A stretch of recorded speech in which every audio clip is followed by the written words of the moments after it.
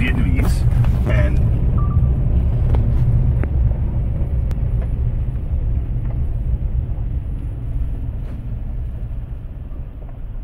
Where are you going? No, we're not that scary.